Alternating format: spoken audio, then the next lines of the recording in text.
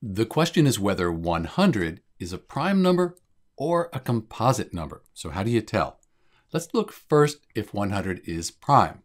So for a prime number, it'll be a positive integer. It'll be greater than 1, so we have a positive integer, a whole number greater than 1, and there will only be two factors that go into the number. So 1 and 100, those would be the only factors. So we know 1 times 100, that equals 100. So we have two factors. But are there any other factors that go into 100? Well, since it's even, 2 times something would be 100, 2 times 50, and there are actually a lot more factors that go into 100. So we can't say that there are only two. There's more than two, so no, 100 is not a prime number. So is 100 a composite number? Well, it's a positive integer greater than 1, and we have more than two factors. So 100 is a composite number.